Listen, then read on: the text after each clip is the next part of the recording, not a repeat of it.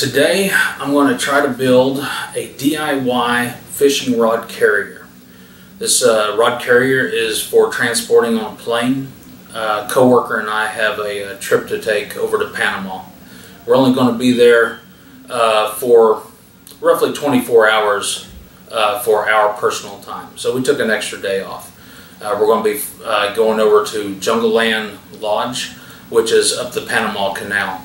We're going to stay at an all-inclusive lodge, floating lodge over there, and uh, and see if we can get into some peacock bass. But we want to take our own fishing rods and saltwater reels, so we make sure we've got good gear that works properly. And uh, so that's what I'm doing today. I've got a couple of rods that breaks down. They uh, they just slide in and out, and uh, so they basically come in half. And uh, they're roughly 40 some inches long whenever they're uh, broke down. And so I'm going to create a rod carrier that will support the rods, my lures with the big hooks, because they probably won't let me carry that on to the plane. And um, the, reels, the reels going to go on a carry-on luggage. But the rods, the fish grips, the lures, all that will go on the rod too. So that is today's project. I'm also going to try to braid a uh, strap, a carry strap, um, out of 550 parachute cord. Everybody knows this 550 parachute cord comes in really handy during emergencies and other situations. So it'll be nice to have attached to the rod carrier in case we need it for some reason. So anyways, that's today's project. I'm going to head outside, out to the barn, and get after it. Before I get started on this project, how about a little tip for the day? For you aspiring woodworkers, if you're limited on space, this Harbor Freight scaffolding works excellent. I've got two sets of this stuff and this is what I put my tools on with the exception of like my Ryobi table saw. It has wheels. I can wheel everything right out here outside the barn and do all my woodworking out here in the in the weather. You know, it has to be nice, but um, it keeps me from dusting up everything in my barn. In the barn, you know, I've got kayaks, lawnmowers, sailboat, all kinds of stuff. And if you start cutting on stuff with table saws and sliding miter saws, planers, you're going to have dust everywhere. So, little tip, the scaffolding works great. One more little tip. Don't loan out your stuff to people that don't have the tools that they're wanting. If their tool broke and they need it, yeah, that might be fine. But if they never had scaffolding, they never had power tools, don't loan it to them.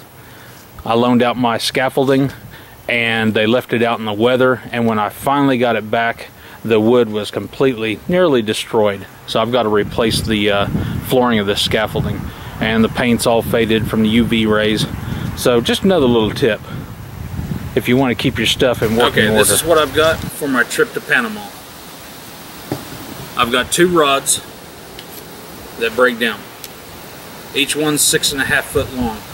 So what I've got to do is I've got to create a tube that will accommodate the rod and allow for the eyes to slide in there. And also, because I'll probably have some large hooks for fishing for the peacock bass, um, I need to have enough room in there to put some kind of tube tackle box or a, a flexible tackle bag inside the tube the reels, the saltwater reels that I'm going to be taking, that's going to go in my carry-on luggage. If this stuff gets stolen, eh, I'm out a little bit of money, but not as much money if I, if they steal my saltwater reels.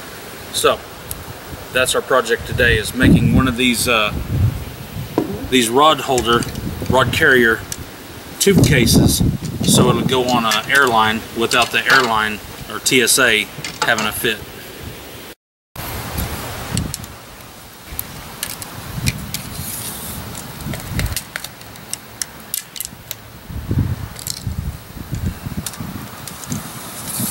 So we're looking at roughly 40, 40 and a half inches long. I'll make it a little bit longer so I can put some rubber padding on the inside on both ends just to keep it from rattling around, bouncing around because uh, it may shock you but um, the baggage handlers at the airport aren't just real careful with the bags. Alright, this is what I'm going to be using for the tube. All this is is thin-walled PVC pipe. Flip this around so you can read it. Three inch PVC sewer pipe. This is new sewer pipe. It is not used. Thin walled, I believe this stuff is probably 26 gauge, something like that. On each end of the rod, I have the thin walled PVC pipe caps. This unscrews, which will allow you access to your rods. Just like that.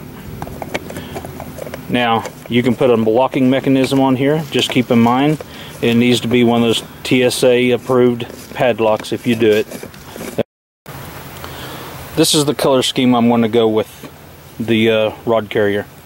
Obviously black for the ends using Krylon Fusion. It's uh, designed for plastics, so it should work pretty good on this PVC pipe. And then obviously a kind of a desert tan look for the main body. Should look pretty good once I'm completely finished with it and I've got the uh, braided paracord attached to it.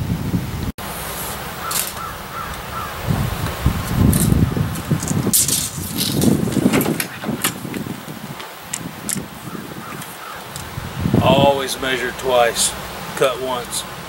In my case, measure three times, stare at it for a while, study it, measure it again, and then cut. I believe I'm going to go ahead and just uh, bring it up to 21, uh, 41 inches even. Hear that? 21. That's why you measure it twice. So, 41 inches, cut it off and be ready to glue up the ends.